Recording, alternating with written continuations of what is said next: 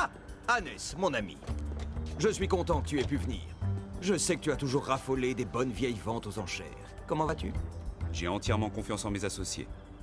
Ils ont carte blanche. Entendu. Mais rien ne t'empêche d'aller voir cette petite merveille de plus près pour t'assurer toi-même de la valeur du produit. Ou pas. Comme tu voudras.